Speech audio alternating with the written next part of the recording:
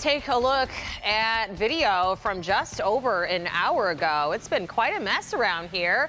Lots of flooding roadways and water. This is the lodge at Linwood, and you can see that cars and trucks are struggling to push through water there in both directions. This video taken just a short time ago. So depending on the drainage, wherever you are, this could be mounting up to a flooding issue. Yeah, sometimes drainage could be good. It's just too much too fast. Mm -hmm. And that's one of the threats for these storms just super soakers that can flood out some highways, some streets, and you know the phrase from the National Weather Service, turn around, don't drown. It certainly can happen. You can get swept away, uh, especially if there's uh, nobody out where you are trying to accomplish this. We have temperatures in the low and middle 70s, a little warm front pushing through. The Storm Prediction Center has issued a slight risk for severe uh, weather, but mainly through the late, late afternoon and evening hours.